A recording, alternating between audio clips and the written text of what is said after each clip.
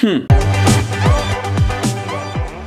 What's up Money Geeks, Mr. V here. Welcome to another video guys. So in today's video, we are going to take a look at one of the largest pension fund in the United States and the moves that they have been making. Um, if you can imagine that you have competition in the market and when your competition makes some moves, you want to pay attention to because those moves can potentially impact what you are doing or the stocks that you're invested in. So again, the largest pension fund in the United States is making some moves and I want us to kind of take take a look at that. But before we get started, guys, if you're new to the channel, we talk about how to earn money, how to save money, how to invest and build wealth. So if that's something that interests you, go ahead and hit that subscribe button and the notification bell so you don't miss out on new content. Again, the largest pension fund in the United States, which is the California Public Employee Retirement System, has actually been putting a ton of investment in the EV space as well as uh, work from home uh, stocks. So we're going to take a look. They invested heavily in three stocks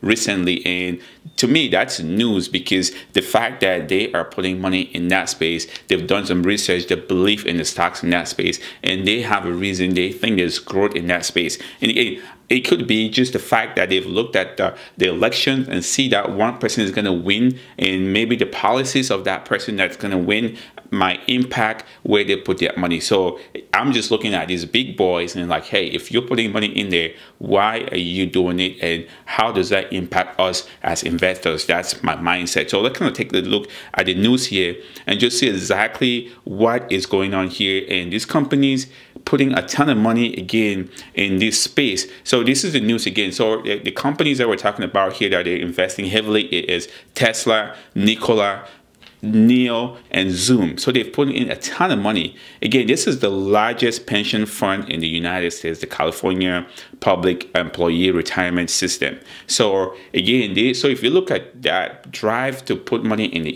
EV space, uh, California by definition has actually put out policy which says that by I think 2035 they want to completely go to electric vehicles, no more gas vehicles. So this could be the reason why they're driving towards investing money in those kinds of uh, uh, companies. And again, we're talking about Nikola for trucks, we're talking about NIO for um, electric cars, we're talking about Tesla for electric cars, and then Zoom for uh, video conferences. Uh, Zoom has actually taken a beating recently just because of, again, um, the fact that we're getting a vaccine coming through. Uh, they're talking about good news on the vaccine. So if you look at Zoom here, look at where Zoom is at. I said when I was doing this video, Zoom was down 3.3%, um, down to 390. This is a stock that has gone up to as far as 530. So you can see that Zoom is really, really taking a massive beating here. And then if you go on the flip side, look at NIO. NIO was up 2.2% today. That's after taking a beating from,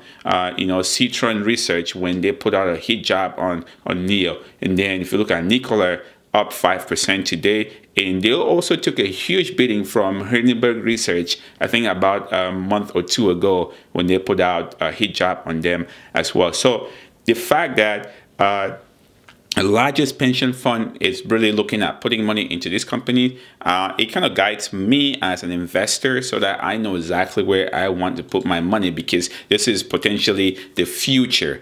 Um, again, this is long-term investment. It's not just a, a short-term investment. So if you are looking for really quick short-term returns, this might not be the move for you, but for long-term, this is what these guys are saying. So I'm anticipating that the research they're looking 5, 10, 15, 20, 25, 30 years down the road that these stocks are going to pop.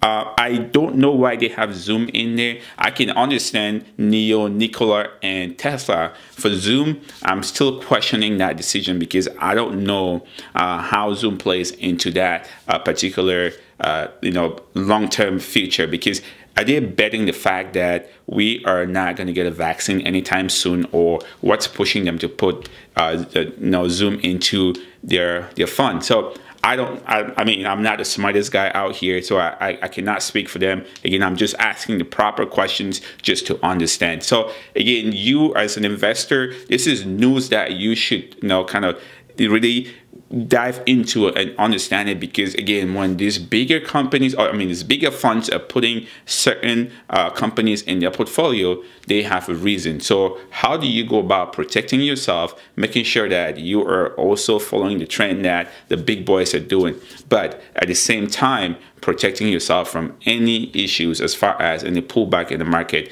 So this is again uh, news i wanted to share with you guys. Because when i saw this i was like huh this is this is something that we need to talk about, something that we need to take into account. So uh, let me know in the comment section, what do you think about this move? Do you just think like, oh, well, it's just another fund trying to make money? Or you think that these they are really pushing towards their 20, uh, 2035 goal of complete uh, electric cars on the street?